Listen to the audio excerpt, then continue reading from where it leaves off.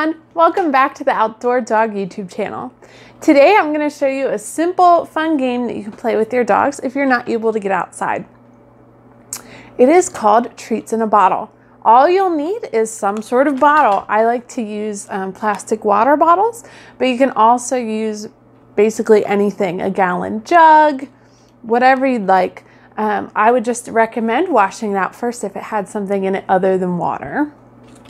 All you'll do is take off the cap, take off the little ring that goes around the top of the bottle.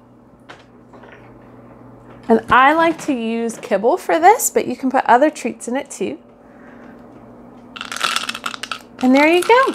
You have a fun makeshift food puzzle for your dog.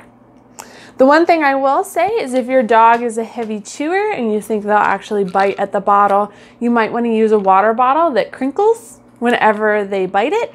And also you'll want to do this um, only if you know that you'll be able to get the bottle back from your dog. Um, I recommend throwing some treats on the floor to distract the dog as you pick the bottle up once they're done with it. Um, also, I would do this one at a time if you live in a multi-dog household. Enjoy treats in a bottle.